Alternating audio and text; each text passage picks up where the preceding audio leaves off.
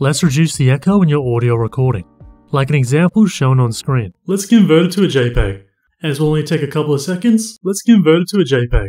As will only take a couple of seconds. To remove the echoing, we will be using WavePad Audio Editor. You can download WavePad today for free for a limited time on both PC and Mac.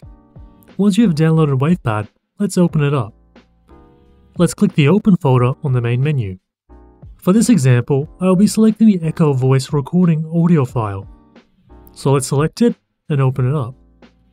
You can press spacebar to play your audio and hear it back. Can't edit or use a HEIC file? Let's convert it to a JPEG. Now, let's reduce the echoing. Press Ctrl A to select the whole audio file. Then go to the Effects tab and select Reduce Reverb. And choose the Heavy preset, then click Apply. Now let's select the de-esser tool, then click OK. Now let's choose the noise removal wizard.